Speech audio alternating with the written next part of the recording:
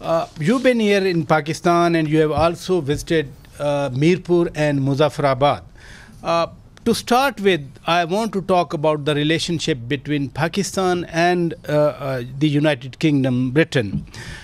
How do you foresee the further growth of these relationships because there is sizable trade between the two countries both in goods and services what is the future well, I think there's a really important relationship to be further developed between the United Kingdom mm. and uh, here in Pakistan. We have historical links, we have cultural links. Uh, there is a very sizable uh, Pakistani diaspora uh, in the United Kingdom, uh, people who make both the UK and here in Pakistan yeah. uh, their homes, but also there's a lot of business between the two countries. I think that that could uh, flourish, it could be developed still further.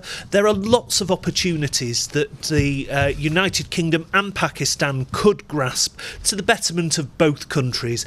Uh, we have shared values, we have yeah, a shared, shared history, and, shared and also the English language helps as well because it is an international language. So it gives Pakistani businesses a competitive advantage in the global marketplace as well. So let's hope that we can build on our friendships, our historical links, to have a stronger future relationship between our two great countries.